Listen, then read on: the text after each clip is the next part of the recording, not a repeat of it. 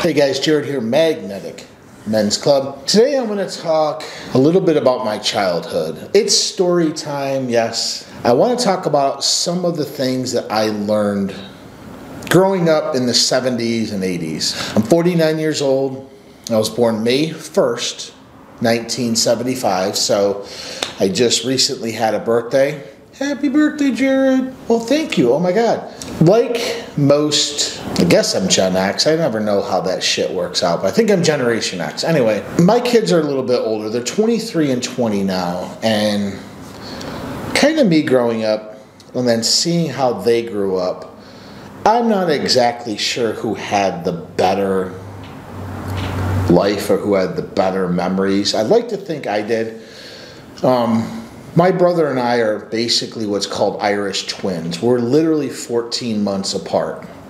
And I wouldn't say we're the closest, but he knows I would do anything for him. And obviously, I know if I needed him, he would be there in a heartbeat. I have a younger brother that is about four and a half. We're just going to round it to five years different in age than me and my older brother. So he had a little bit of a, a gap. When I say we were blue collar, we were blue collar. My dad worked um, as some type of a fire, uh, either a fire engineer or firefighter. I don't know exactly what he did for a nuclear power plant, but I know he worked a lot. He worked 12 hour days, usually five or six days a week and a couple days off. And my mom, um, when we were younger, she basically raised us and she had a couple part time jobs, but she didn't really enter the workforce until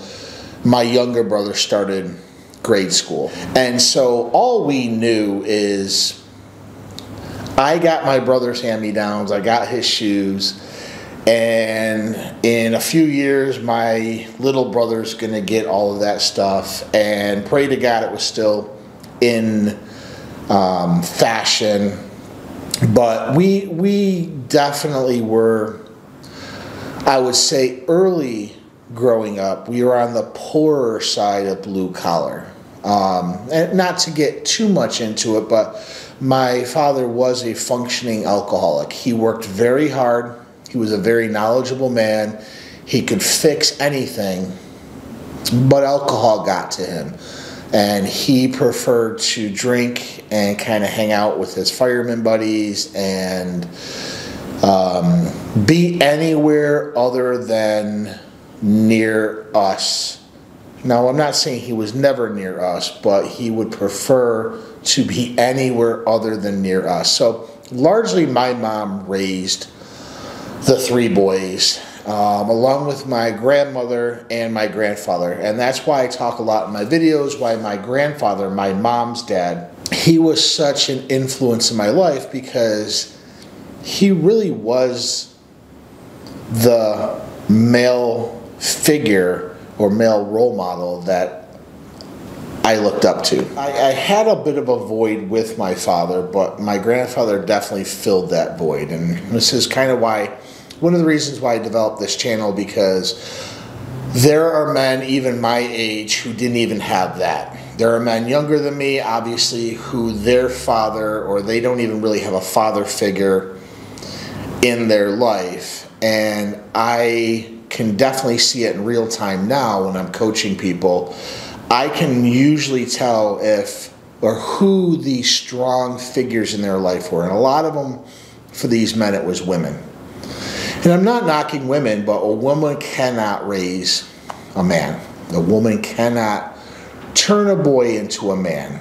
Early on, I remember different times where my father would come home so drunk that me and my brothers would kind of hide underneath the dining room table because my mom was very headstrong as well, and so she never really backed down.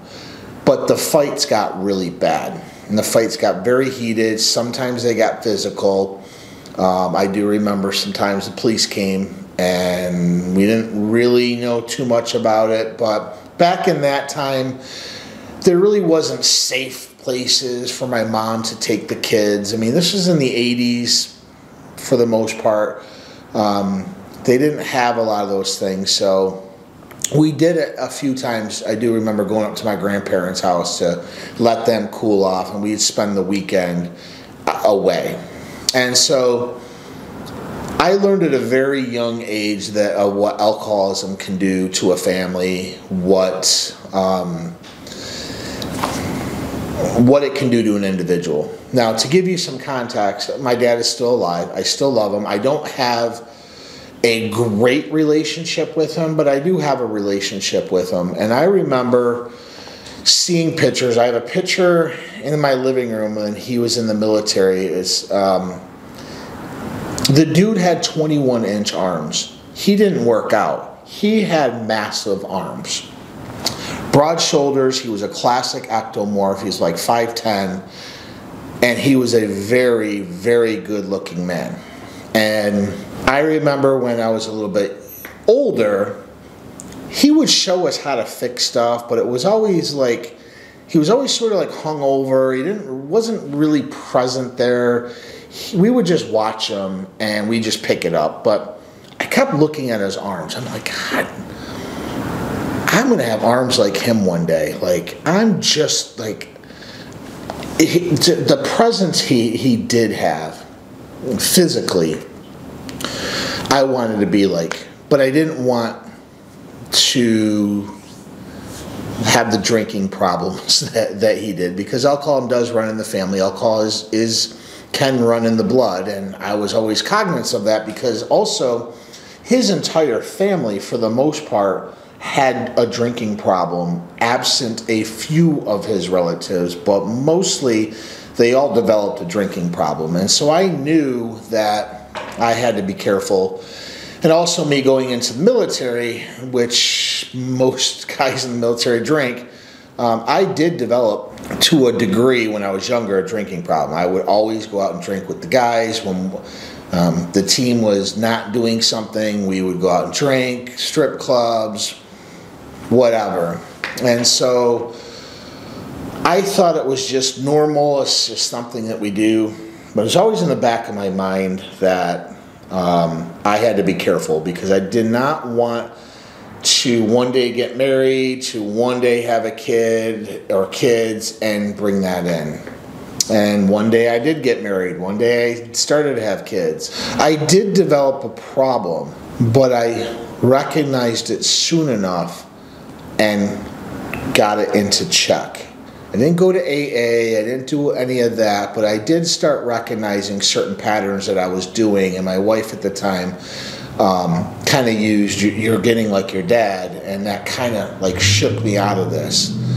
And so, I guess the point of this video is you don't have to be like your parents I know a lot of the guys that I coach and some of the women I coach, the reason why they're like they, they are or they think they're like they are is just because they don't recognize, well, that's what my, my mom did. That's what my dad did. That's what my siblings did. And so I started doing those things. With that, have an amazing day and we will talk soon. Bye.